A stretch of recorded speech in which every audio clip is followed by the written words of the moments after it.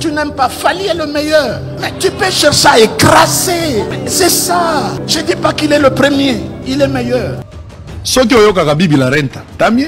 soki oyokaka mangaya tamie soki oyokaka service ya fali tamie me na sher te épargne bana nzambe na makambo wana bana yango besoin te o oh, asimbaka kisi yo nani apekisi ozwa kisi oh non bazo resir bapase batekisaka diamba bapekisa yo botika bana nzambe boteya bango kaka liloba bake mpe na suka yo moko olobi eh, nsima bokoloba oyo aza na kisi soki aza na kisi yo pourkoi ozosimba kisi te pasteur yo okotinda bato basimba kisi te parler de wemba wemba pas l'homme mais un esprit était derrière wemba cet esprit qui a fait de nous les congolais des sapeurs des gens qui s'habillent à 10 000 dollars mais n'a rien dans le compte en banque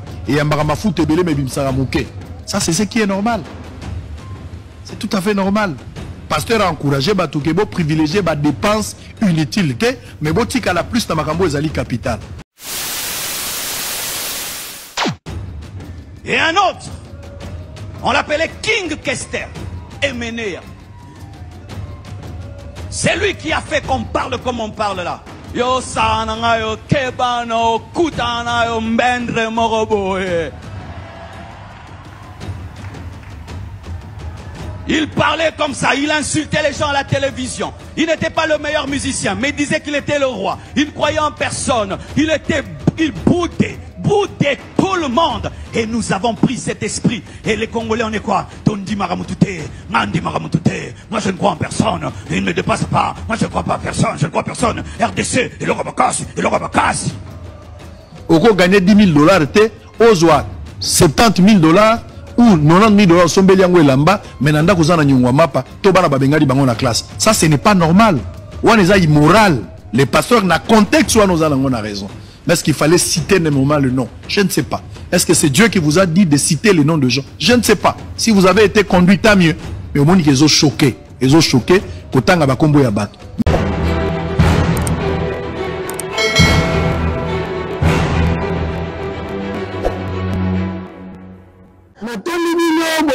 malamu na émission na bino exprimevi au micro de carisi disu émission na elingaka trop ya trop une émission socio culturelle awa tolobelaka nde actualité soki omoni toyisi bisu na fandi boye seke bamoni eye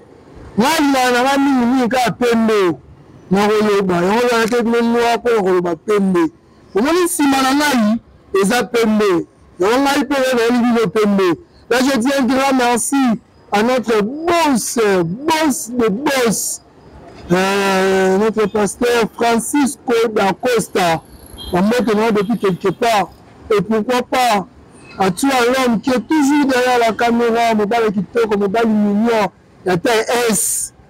Euh, mais c'est gentil mobali abi lobeta mwasi te azalaka toujours ka bien mwasi ya maneve tambongo moko na kamera a kitoko moko mobali ya kitoko mobali ya mbisi mobali ya tai s plobos na maneve ya kitoko omoto na bisika eza et pourquoi pas à celle que j'appelle Poutine, la Poutine, la triste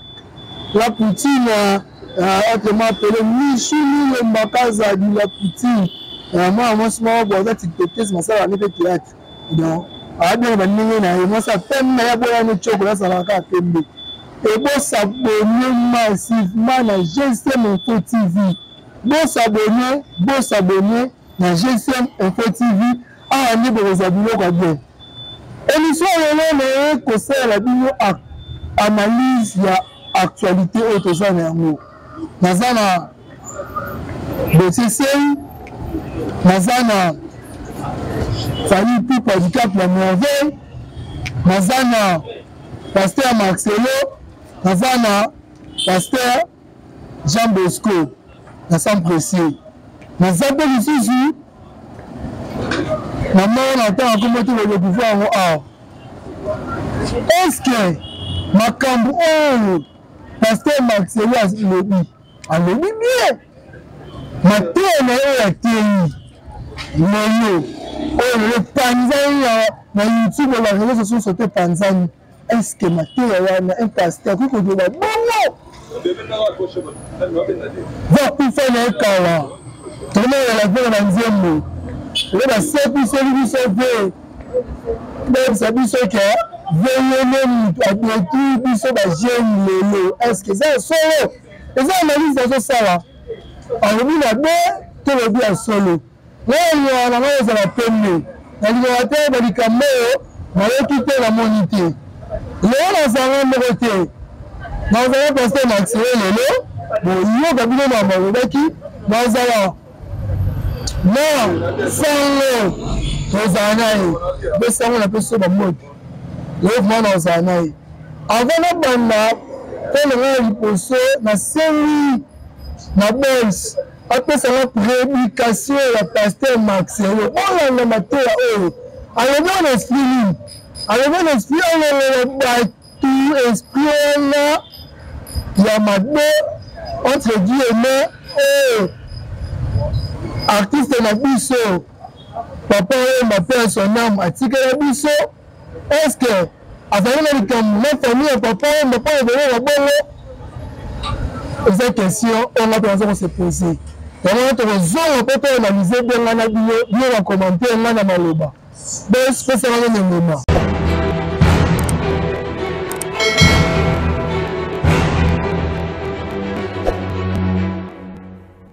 Et puis Dieu m'a dit, quand tu vois un Congolais,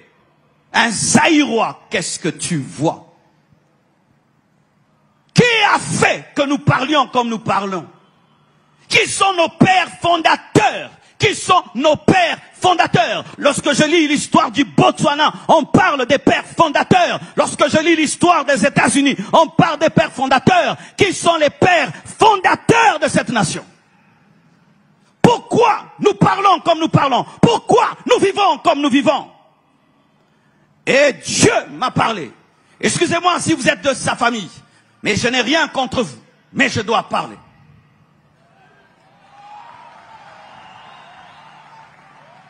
Et il m'a parlé de Wemba. Wemba. Pas l'homme, mais un esprit était derrière Wemba. Cet esprit qui a fait de nous les Congolais des sapeurs des gens qui s'habillent à 10 000 dollars, mais n'ont rien dans le compte en banque. Des gens qui vont dévaliser des boutiques, mais ils n'ont même pas 10 dollars en banque. Des gens qui préfèrent s'habiller comme des riches alors qu'ils sont pauvres. Des gens qui sont dans la superficialité, l'apparence. On va me voir, on va me regarder. Pendant que des milliardaires s'habillent en jean, en polo, nous, on s'habille comme des millionnaires, mais des pauvres achetant des voitures, mais tu n'as même pas où les garer, ni de carburant. Et on des iPhones de 1000 dollars alors qu'il n'a rien du tout.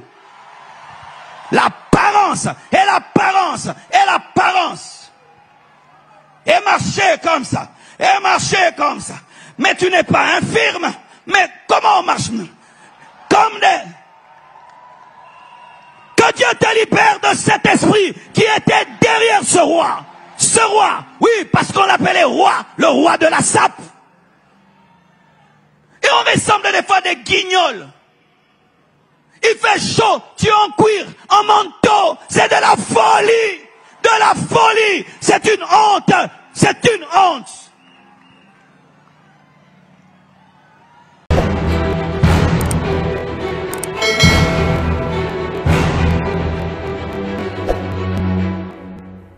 Merci boys. Bouti ko na bino moko na tie ya pasteur Marcelo. Ah! Pasteur Marcelo. Est-ce que pena na tie ri ko tie na cher? Soki lelo oyo famille ya papa oyo malgré porter plainte na makambo olobi bapreuve nini oyo eza nango oyo ezolakisa ke papa yemba moto asali biso boye te pasteur iko wana otianelaka na beke oyataka mpe na bien obetaka mpe na veste oyataka kitoko klasaka se oyebi mpe na delivrance oyo esprit okoyemba yebisa biso donc biso nyonso bakongolais en général bakoyemba moto alakela biso mabe c'est ça franchement nga mpena na te esepelisi nga te esepelisi nga te oza pasteur osalaka biso babie pasteur marcelo mais youtube ezalaki boteyaka biso eti botika mabe tobonela mitema eno bana bakisa biso bato baye botuli mboka entre guillemets siko bana bana ya papa omba bana ya papa omba ntango atambola na nzela ayoka sikoyo yanike tindenge kini bakino babebesa tata na bino moto aza aza ndoki moto abebisa biso bakinwa bana wana baza bien misala na presque ya bana ya papa omba estce baza bien okoki koloba na okende aza na artiste moko boye abebisi biso n'est-ce pas ça boye na boye mais otanga nkombo te ekamwisa ngo soki bike papa matiki lupangu te oyo matiki lupangu lupangu te menzi atiki mapangu okamwisa soki bike papa yema azalaki na compte na banki te po yema ndenge azalelaki akosala compte na banki te compte bancaire akozala ngo te ekanisa yo soki ke papa omba vi na ye ana oyo otambola na mituka me fo osomba ye carburant okamwisa nga le contraire okuti ba pasteur na bobimisa mbongo na poche na bino ti mpo opeye carburant edete pasteur ser x apeye carburant ser x asomba elamba ya normal to oza pasteur mokambi ozokamba bato moko boza na influence moko quelque part c'est normal kozwa en charge ya mabe te ya de pasteur ozwa bango en charge de l'église c'est normal ye baza musicien efalaki bato bapele bamitura epele ya bilamba bilamba presque oyo papa ye malata mpo azalaki artiste asomba na mbongo na ye te ba griffe ne moto aleki olatisa ye mpo asala bango publicité ezalaka logique ezalaka bongo franchement prédication oyo oluki eloko ya base tema ya mikolo bandeki olobela kaka paster wayo balobela kaka paster wayo omoni te bango olobela kaka ye te tiaka mpona luka base bango molobela nga maza problème te nalobaki buzoba na bino na youtube na réseau sociaux bilengi na nga na youtube na réseau sociaux osali gaf nga naleki na lobi osali buzoba nga naleki na lobi ntango boyeba ke musicien papa oyo mabebisi bato banda papa oyo mazala bamba neti nde nakufi ano 15 jours etiki omona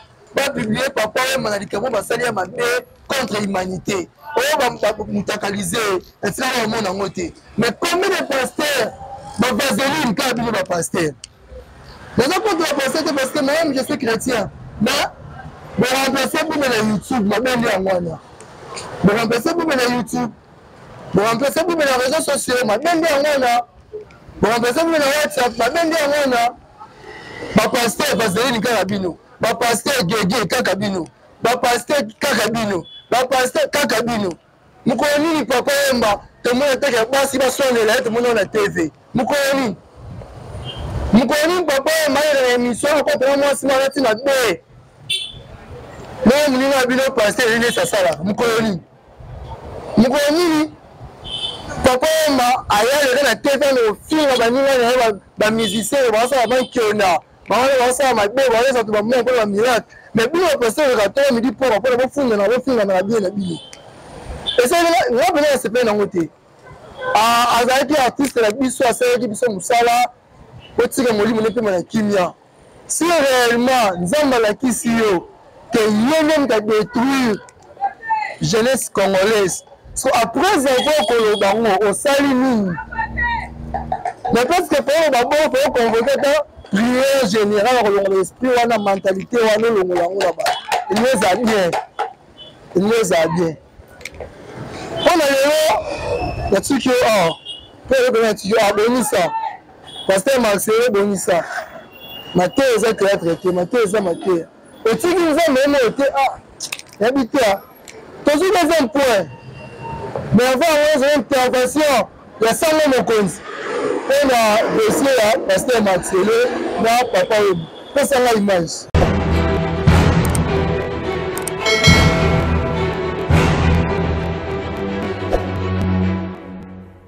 nayokaki makambo ya pasteur marcelo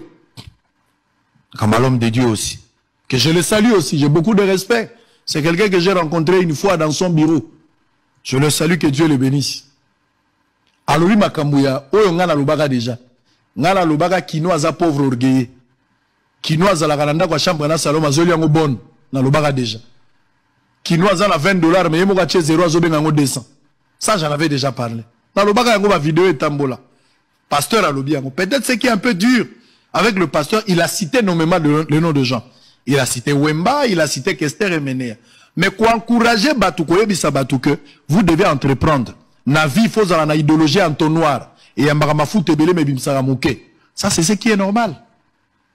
c'est tout à fait normal pasteur encourage bato ke boprivilégie badepense inutile te mais botikala plus na makambo ezali capital okoganye 10 000 dollars te ozwa 70 000 dollars ou 90 000 dollars osombeli yango elamba mais na ndako oza na nyongo ya mapa to bana babengani bango na classe ça ce n'est pas normal wana eza immoral le pasteur na contexte wana oza nango na raison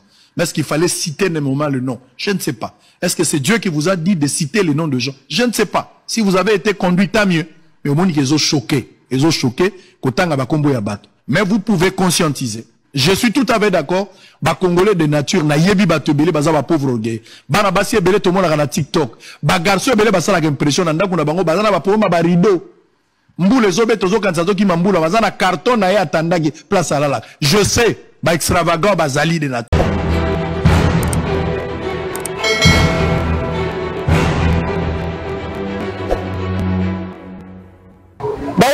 merci leo tukolanda deuxième point pasteur wayo okutana yango nasala su image paster wao estce makambo alobi alobi ya solo sala oyebaki baza na bango ebele te baza partout toyo comprendre tokulaka demiles aza ye moko ake baza ebele nalala ye naloba mingi te image mpe eloba pesa biso image ya prédication tokotala paster ndenge abimisi fali meilleur koleka mise nyonso ata soki asimba na ye kisi yo mpe kei kosimba kisi c'est un paster qui a dit ça video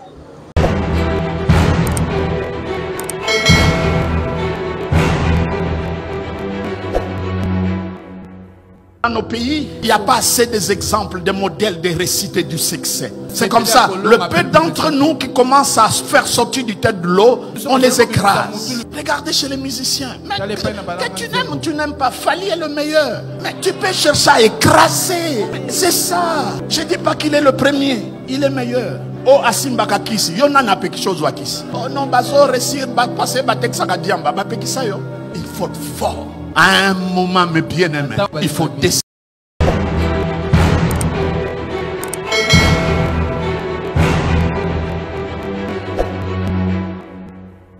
Merci.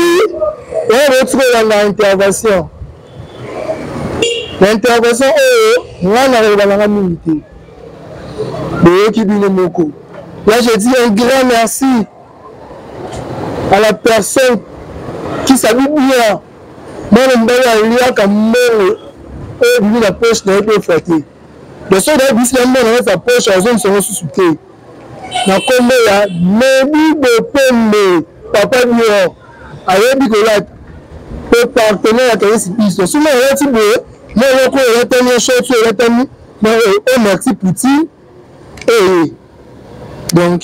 ye mpena meme baco eye lipapo oyo merci poutine deux personnes bala etinga poutine na papa bior merci na bino ye mpe olingi okoma lokola papa bior salaka nde podi asali oyo wana eyebananga mingi te boyoka sikoyo sango mokonzi ndenge intervenir na dossier oyo et après nanga oyaka mpona clôturer bopesa nga video ya suka ya intervention ya sango mokonzi mpo na dossier ya pasteur jean bosco ya sam precieux merci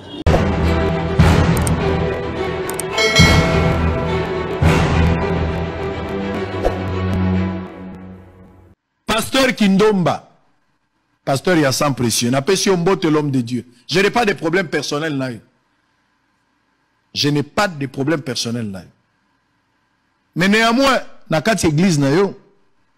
okoki ko encourager bana basi, ozoloba na bango par exemple, vous devez travailler, apprenez à bana na yo ya basi ozoteya entrepreneuriat. Nayebi koza mutamayele. Lobela bango makambo lokola makambo oyo. Pasteur Kindomba loba na bango entrepreneuria encourager bango. Kobimisa ba energie mingi te na makambo ya ba artiste. Yo oza pasteur, ozoteya bato bakende lola. Ndenge nini du haut de la chair yo okoki koloba ke artiste tel aleki tel. Yo ozoyeba yango ndenge nini? Yo oyokaka pasteur te. Ndenge toza boye ba nzembo ya Fally ezobetama awa. Au delà ya ba pasteur okoki koyoka yango otuni wana nani mais okoki okokoma na niveau toyeba ke fali aleki fere to fere aleki fali pasteur yo koyeba yango te soki oyebi yango se koyokaka bibi la renta se koyokaka patrik mangaya ezalaka nani mangaya pasteur ozoyeba ndenge nini ke fali aleki ndenge nini ozoyeba ke fali aza numero 1 pasteur ozoyeba yango ndenge nini oyokaki bibi la renta oyokaki patrick mangaya oyokaki nosbi ozoyeba ndenge nini je ne dis pas que fali aza premier te nalobi te mpe que fali aza premier ça je n'ai pas dit ça mais nous les journalistes nous pouvons témoigner nous avons le courage de dire que tel artiste aleki tel artiste par rapport ya point de vue par rapport ya ndenge badonne ezaleli nous pouvons arriver à une conclusion mais pas un homme de dieu et surtout olobi yango du haut de la chair La chair. C'est poussé par le Saint-Esprit que les hommes ont parlé de la part de Dieu. Osa na chair. Osa communiquer. Vinzambe akiti na chair. Mais vous vous donnez le luxe de parler de frère Fali à l'église. L'homme de Dieu, je ne peux pas vous attaquer. Mais je suis en train de vous interpeller. J'ai beaucoup de respect pour les hommes de Dieu. Mais je vous dis, parce que l'Okwango est dans les réseaux sociaux, Mbodi peut vous dans les réseaux sociaux. Vous ne pouvez pas utiliser la chair. Bon, confondre chair na plateau à TVT. Na plateau à TV, tozala makambo toko ikolo. Mais na chair te, na chair te. Place nzambe azo kita. Place batu bazo ya kobotama. Batu bazo ya kobotama. Place ba problème na bango zo bazo zo solution. Mais yo utiliser chair po otombola fali nalobi te ke naza jaloux ya fali nalobi te ke fali aza le premier te nalobi te ke fali mpe aza le premier mais néanmoins na chere te tobatela chere tobatela chere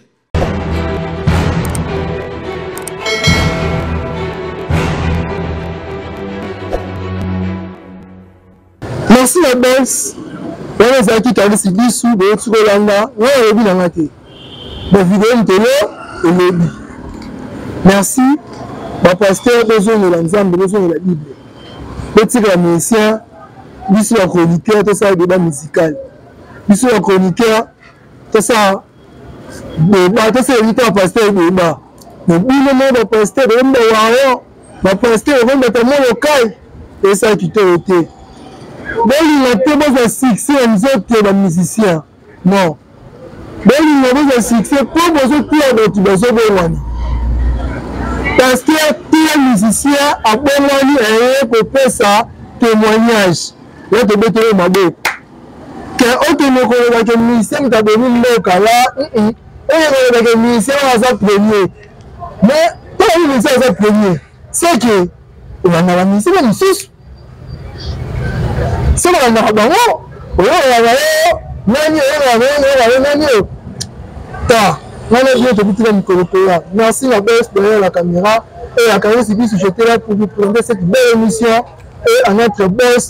Francisco da Costa wana bino tokutani na mikolo ekoya bai